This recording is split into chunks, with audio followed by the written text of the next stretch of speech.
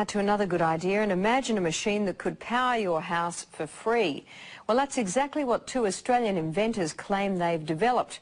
Using magnets and a battery, their new generator has been described as revolutionary and foreign investors are lining up for a piece of the action. Chris Allen reports. So, John, this is the machine? Yes, this is it, Chris. What's it capable of? Well, it'll, it'll power a house. This will, the machine will provide, provide sufficient electricity to run a house and have power to burn. It sounds too good to be true, but inventor John Christie is convinced his machine will change the world. So, John, basically you're saying this machine can produce five times as much power as it consumes? Yes, it, it does. Uh, This one, uh, exactly as we see it, it does. And in fact, it can produce more than that. Once kick-started from a battery, John and his partner Lou Brits say this prototype will run for years without stopping, generating 24 kilowatts of power a day. You don't get more revolutionary, I think. I mean, we're talking about something that has the capacity to change the way that the world produces its electric power. It has the capacity to change the way that motors cars are, uh, are propelled. It can, it can replace the combustion engine, in fact. John, these are big claims. Are you sure you can live up to them? We don't really need to live up to them, Chris. Uh, What, what the, the technology speaks for itself. I mean, a householder could buy one of these machines and install it in his garage and power his house forever without buying another kilowatt from a retailer. I mean, that's how serious it is.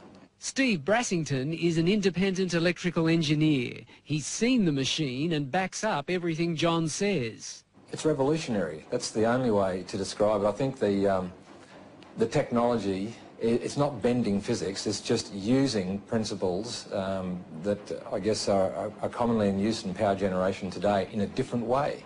These guys have thought outside of the square. Basically, it's magnetic attraction and magnetic repulsion that provide the movement or the moment of the, of the motor. Can you understand why some scientists are sceptical about it?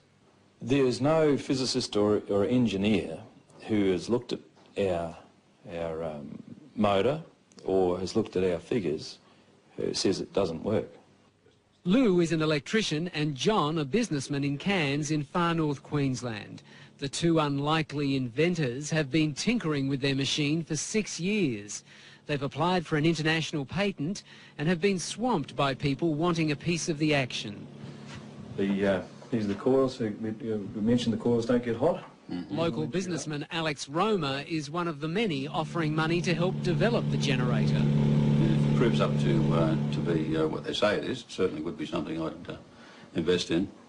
John has also spoken to millionaire inventor George Lewin, the man who came up with the Triton workbench and who's now setting up a fund to stop Australian inventions going overseas. There's an opportunity here, I think, to share an invention with the world um, that is beyond anything that we've ever contemplated before.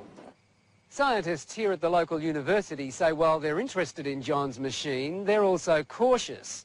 They say if the machine can generate as much power as John says it can, then they will have to rewrite some of the laws of physics. And they've urged people to be cautious about investing in it until the generator has been independently tested. Anybody who says it doesn't work hasn't seen it or haven't, hasn't looked at our figures. They haven't reviewed it. If they look at it, they'll all agree with us that it does work. John says the household generator should be available in a year and sell for about $5,000. If he's right, it will make him much more. And how much do you think your technology could be worth to you? I have absolutely no idea. We could be talking about millions of dollars here. Yes, oh, very definitely talking millions of dollars, but uh, I, uh, I'd hesitate to even take a, a stab at it. Hmm, good idea.